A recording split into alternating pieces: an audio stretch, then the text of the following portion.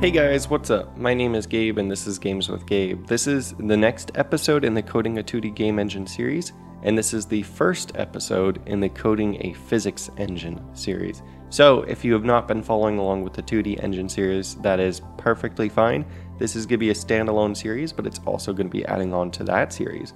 But if you would like to learn how we got to the point where we are, which is basically just rendering in a simple level editor, then I would definitely suggest you to sit, check out that series. But in this one, what we're going to be doing is actually building a full blown physics engine that actually has spatial partitioning, has a believable linear impulse and angular impulse resolution and everything. And this is going to be in 2D too, but it should be fully featured for the most part. Now, this is not going to be like something to replace a good physics engine library like Box 2D or like Havok or Bullet, but this is going to be a teaching utility. So it's really good to understand how everything works underneath because then when problems arise or even when you're building new code, it just helps because then you understand how to design better code once you've redesigned other people's code. So it's just a great learning opportunity and it really does help. I'm going to cover what we're going to be going over in this series, and then I'm going to give us a briefing on some math that will definitely be helpful. Um, even if you are familiar with vector math, you need to be like super, super familiar. It needs to be really intuitive because when you're doing this physics code, if you don't understand what crossing two vectors is and how that relates visually and how that is actually affecting real life objects and stuff, then you're not going to be able to follow along very easily with the mathematics. So I'm going to give a quick briefing to try and get a little bit more of that intuition just built in, and then we're going to actually start in the next tutorial, start coding and everything. But let me tell you guys the game plan and give you a brief outline of what we will be going over. Before I begin talking about the roadmap, I'm sure that all of you would really like to see an example of what we'll be doing. This is in 3D of course, but the concepts remain the same and we will be implementing this in 2D and hopefully I will expand the series sometime in the future to support 3D like this. Now, this is going to be following along loosely with the book Game Physics Cookbook. It's linked in the description if you want to see what that is. And I'm also combining some concepts from Ian Millington's Coding a Physics Engine Uh, I'm not sure the exact title of that book, but it's also linked in the description if you would like to check that out. And the format that I'm going to be taking exactly is sort of seven main sections. And in each of these sections, there will be like several subsections, which will just be a bunch of different videos. And we'll slowly but surely build up an entire physics engine by going through this. So the first section that we have is 2D primitive shapes. Now, this is anything like points, lines, circles, rectangles, oriented rectangles, and then things like point containment is a point in a shape, and line intersection is a line intersecting a shape. So this is sort of the basics of physics. We need to be able to have a way to hold our shapes and hold our primitives in memory in our program. And this will sort of give us that first step.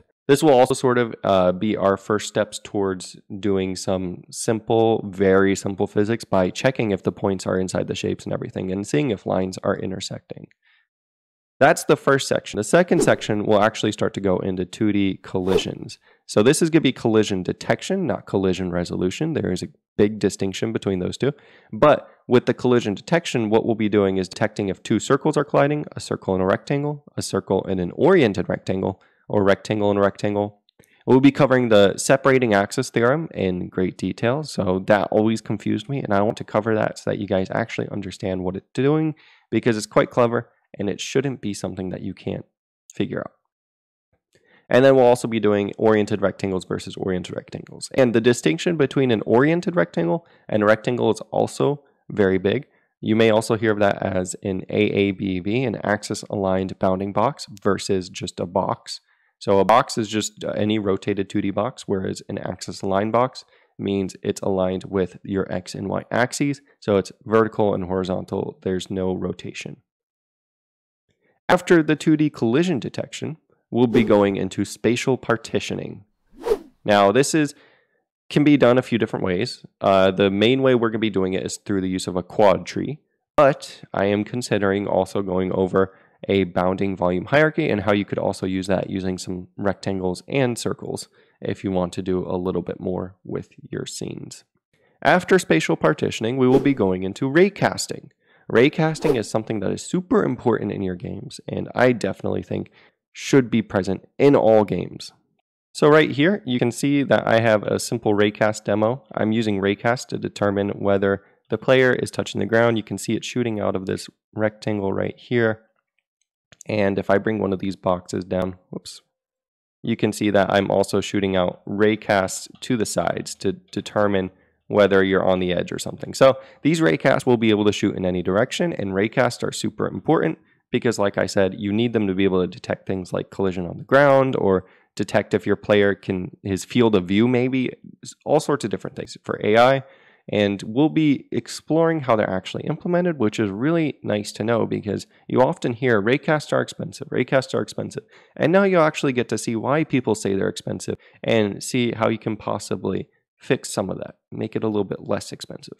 And specifically, what we'll be doing is raycast versus circle, raycast versus rectangle, and raycast versus oriented rectangle. So this raycast will work with any sort of these things. And if I rotate this rectangle, you'll notice it can still detect even as it's rotated. So that's good to know. After raycasting, we will be going over something called force generators. Now, this is a concept in Ian Millington's physics book, and the concept of a force generator is basically just this is something that generates a force. And that's literally it.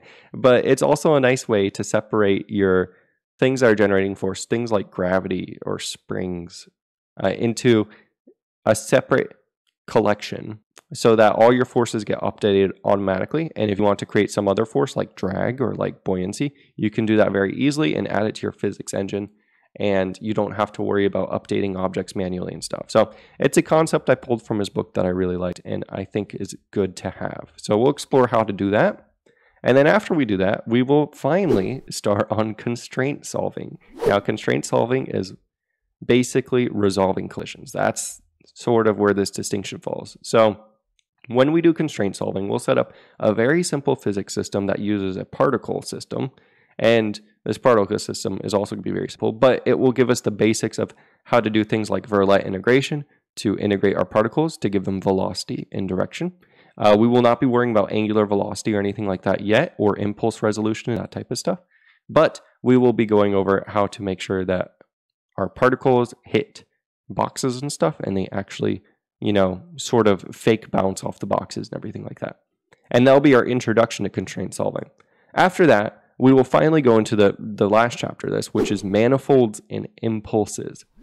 So this is where it gets sort of ties everything together, and it's also one of the hardest sections.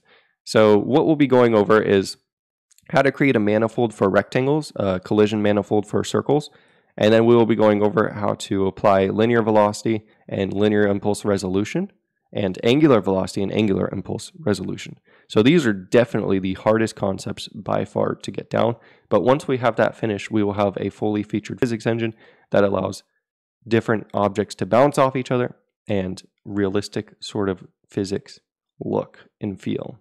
So that's the roadmap. Now, I'm also going to go over very quickly just some mathematics that you guys should be familiar with. So let's go over the math and talk about what it all is. And then if you guys need a little bit more math primer, let me know in the comments and I will consider adding another math video specifically devoted to a lot of the math that we'll be doing. Hey guys, so recording this video has actually taken way longer than I thought it would be. Not recording necessarily, but editing and stuff. As you can see, I have my editing up here. So I'm actually going to release the video for the math either tomorrow or Sunday. So be on the lookout for that. If you guys like this, please hit like and subscribe, and we will begin the math and then begin the coding next week. Thanks, guys. See ya.